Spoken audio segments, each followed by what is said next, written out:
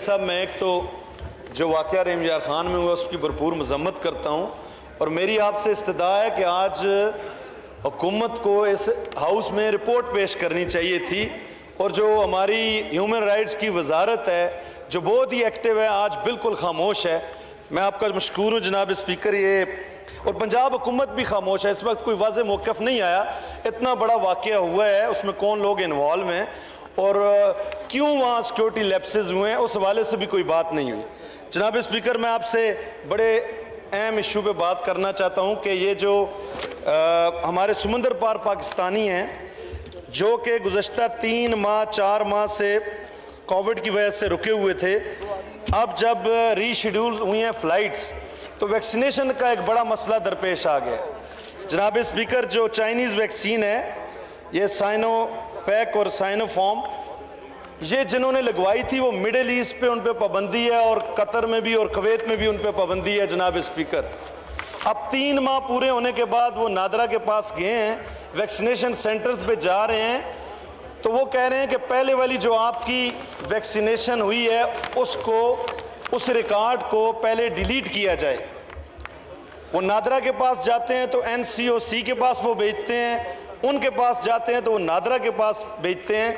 मेरी आपसे गुजारिश है, मैंने अली मोहम्मद खान साहब से भी गुजारिश की है, खैबर पख्तनख्वा के लगभग अट्ठाईस हज़ार लोग हैं और पचपन हज़ार ऐसे लोग हैं जो इस वक्त गुजशत ढाई तीन माह से इस इस परेशानी में मुबतला हैं।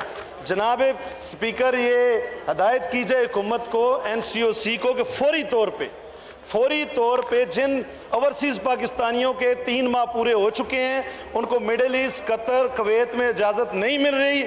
उनका डेटा डिलीट करने के काम जारी करें और दूसरी वैक्सीनेशन उनको लगाई जाए ताकि वो अपने मुल्क जा सकें। एक ये इशू एक एक मिनट की और बात। जनाब स्पीकर 2016 में सुप्रीम कोर्ट ने, ये मैंने अली मोहम्मद और डोगर साहब से रिक्वेस्ट किया, आप हुकूमत से ले लें।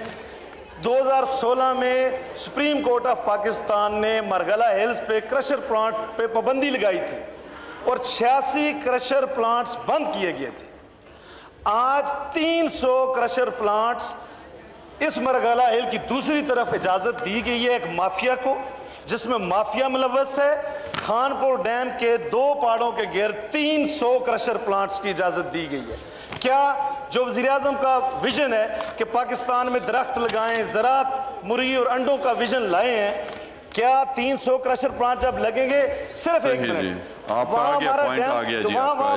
अली मोहम्मद खान साहब। जी अली मोहम्मद खान साहब। इसके बाद आपको देता हूँ चले आप जी मोहसिन दावर साहब।